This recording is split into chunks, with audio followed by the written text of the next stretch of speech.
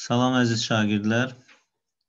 8-ci sinif coğrafiya fənni üzrə böyük summativ qiymətləndirmə suallarının izahına açıq suallardan başlayaq. 26. Qütb işıqlama qurşağına aid olan xüsusiyyətləri müəyyən edin. Günəş il boyu zenitdədir. Yanlışdır. Günəş il boyu tropik işıqlama qurşağında zenitdə ola bilir. Fəsillər aydın müşahidə olunur. Bu da yanlışdır. E, mülayim qurşaq üçün xarakterikdir. Qütb gecə və gündüzləri müşahidə olunur. Doğrudur. Havanın orta illik temperaturu 14 dərəcədən yüksək olur. Yanlışdır. Gecə və gündüzün uzunluğu il ərzində çox dəyişir. Doğrudur. Ekvatordan qütbə doğru gecə və gündüzün uzunluğu daha çox dəyişir. Soyuq iqlim formalaşır. Bu da doğrudur. Çünki e, qütblərə, qütb işıqlama qurşağına il boyu günəş şüalarının düşmə bucağı 23,5 dərəcədən kiçik olduğu üçün soyuq iqlim formalaşır. Doğru sıralar 3, 5 və 6 oldu. 27-ci sual. Uyğunluğu müəyyən edin. Dərin okean çökəklikləri, yəni novlar, okean və materik tipli tavaların toqquşması nəticəsində əmələ gəlir. Yəni aid oldu 2-yə e, A. Quruda iri dağ sistemlərinin yaranma səbəbi materik tipli tavaların toqquşmasıdır. Onda materik tipli tavaların toqquşmasına uyğun gələcək B.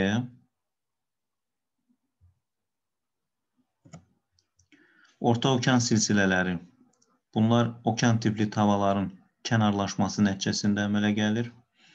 1-ə C uyğun gələcək.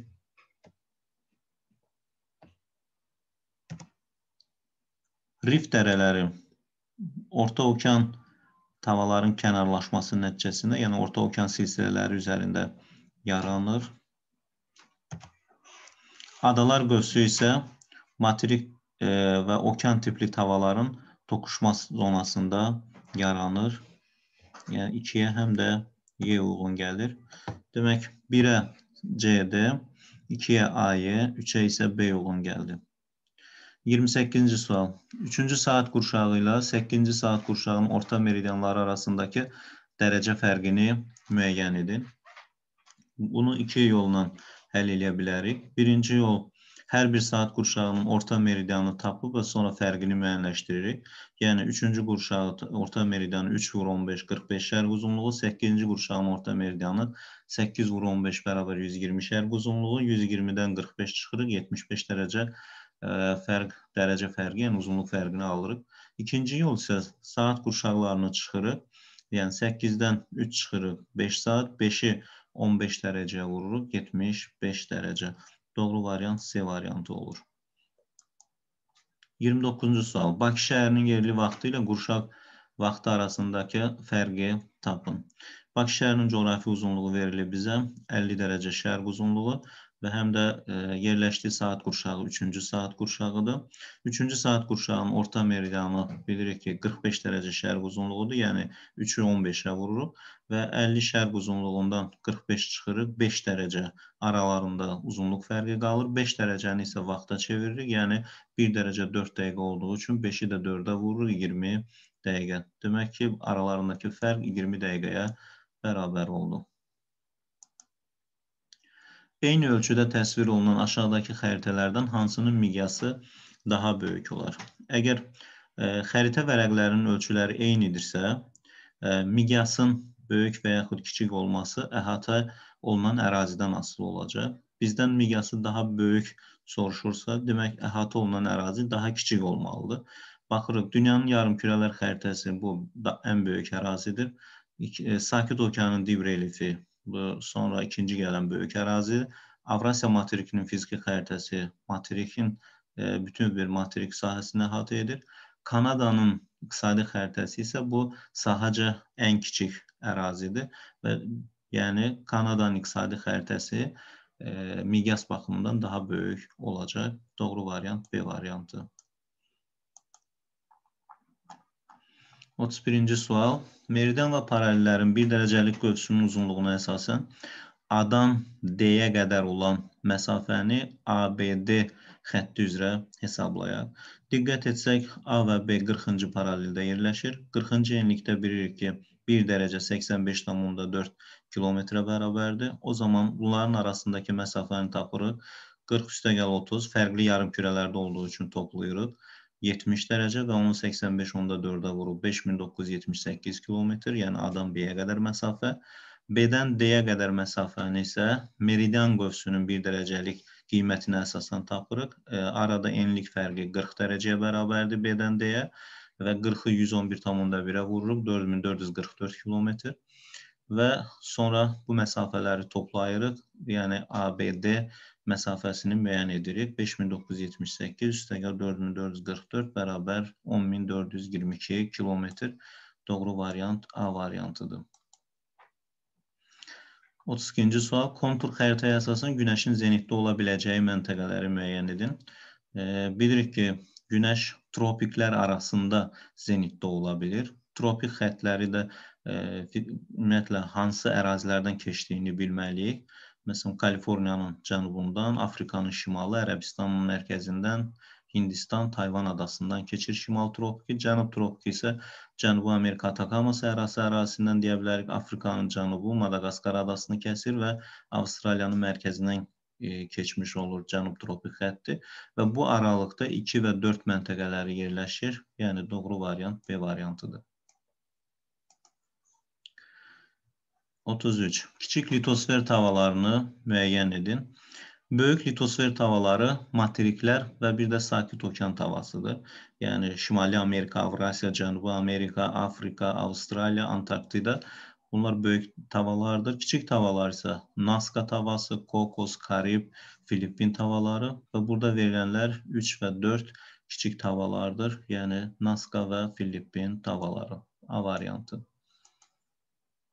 İqlim xəritələrində eyni temperatura, topoqrafik xəritələrdə isə eyni hündürlüyə malik olan nöqtələr hansı üsulla təsvir olunur? Eyni temperatura malik nöqtələri birləşdirən xətlər izotermlər, eyni hündürlüyə malik olan nöqtələri birləşdirən xətlər isə izohipslər adlanır. Demək ki, izoxətlər vasitəsilə təsvir olunur. Doğru variant A. 35-ci sual. Həqiqi sahəsi 600 kvadrat kilometr olan göl miqyası 1 bölünsün 1 milyon olan xəritədə hansı ölçüdə görsənir? Xəritədəki sahəni bizdən soruşduğu üçün, xəritədəki sahəni tapmaq üçün həqiqi sahəni biz miqyasın kvadratına böləcəyik. Yəni burada izahlı miqyasdan söhbət gedir.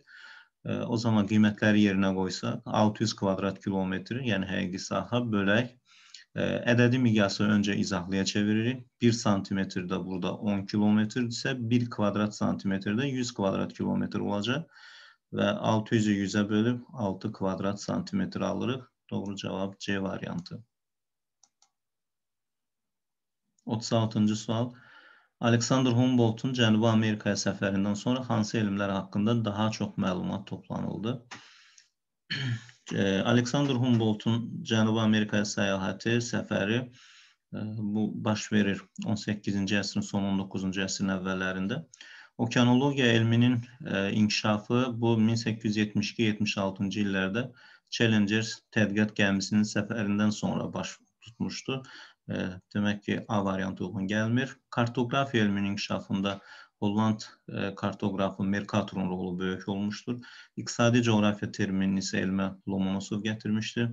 Torpaqşünaslığın inkişafında Dokuçayevin xidmətləri böyük olmuşdur.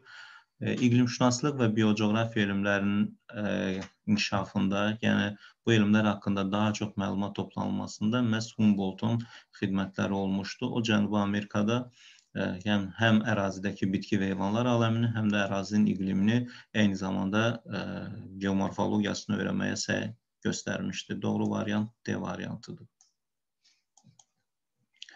37. Verilənlərdən biri yanlışdır. 13-cü əsrdə Tusi yerin fırlanmasına əsaslandırmış məntəqələrin koordinatlarını vermişdir, doğrudur. Məşhur səyyah və coğrafiyaşünas Şirvani Asiyanın bir çox yerlərində və Şimali Afrikada olmuşdur, doğrudur. Şirvani Asiyanın mərkəzi Asiya, cənub-qərbi, cənubi və cənub-şərqi Asiya ərazilərində olmuşdur. Həsən bəy Zərdabinin Kainatın heliosentrik sistemi haqqında Kainatın sirləri əsərini yazmışdır. Bu yanlışdır. Kainatın sirləri əsərini 1900 Gülüstan İrəm Qəribə Kəşflər əsərlərinin müəllifi olan Abbas Qulu Ağa Bakıxanov yazmışdır. Yəni C variantı yanlış variantdır. Və situasiya suallarına, yəni 38, 39 və 40-cı suallar situasiya ilə bağlıdır. E, situasiya mətni isə yerin günəş ətrafında hərəkətindən bəhs edir və eyni zamanda bu hərəkət zamanı yerin günəşə görə vəziyyətini əks etdirən e, sxem verilmişdir ki, biz bu sxem əsasında sualları cavablandırmalıyıq. 38-ci sual. Yerin günəşə görə mövqeyi hansı xüsusi günə, tarixə uyğun gəlir. Diqqət etsək, işıq ayrıcı dairə tam qütblərdən keçmir, yəni qütb dairələri ərazisindən keçir və ekvatordan şimalda gecələr qısa, gündüzlər isə uzundur və hətta şimal qütb dairəsindən qütbə qədər olan ərazidə ümumiyyətlə gecə baş vermir, yəni qütb gündüzləri müşahidə olunur. Bu tarix 22 iyun tarixidir.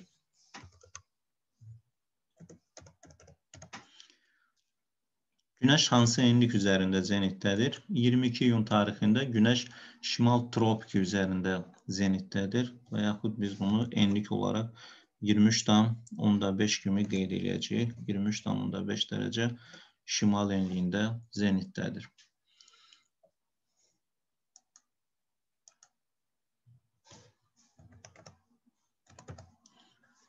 Otuz doqquzuncu sual. Coğrafi ifadələri təsviri əsasən yarımkürələr üzrə qruplaşdıraq. Yay fəsli başlayır. Təsvirə görə Günəş şimal tropikində zenitdədirsə, bəli, şimalda yay fəsli başlanmış olacaq. Qütb gündüzləridir. E, yenə də şimal üçün qütb gündüzləri xarakterik olacaq. Yəni Günəş hansı yarımkürədədirsə, həmin yarımkürədə qütb gündüzləri baş verəcək.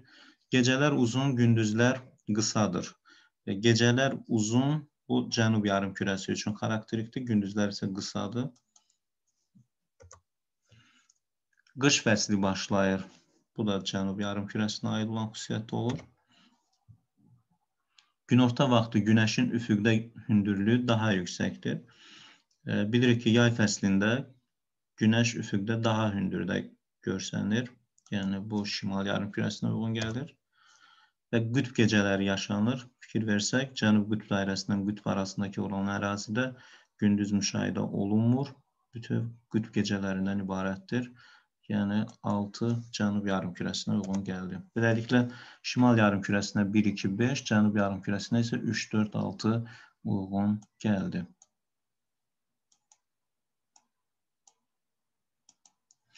Qırxıncı sual. Təsvirə əsasən aşağıdakı enliklərə günəş şüalarının düşmə bucağını hesablayın.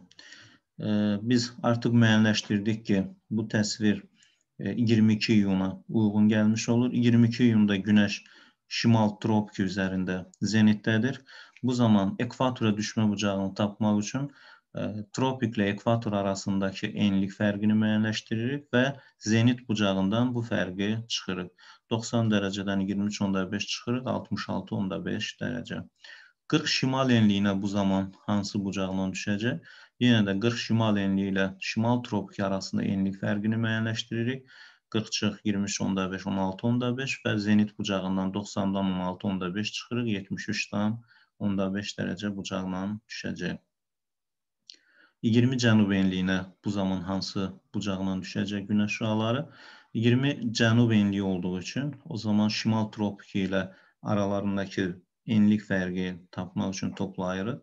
43-dan 10-5 dərəcə və zenit bucağından 90-dan 43-5 çıxırıq.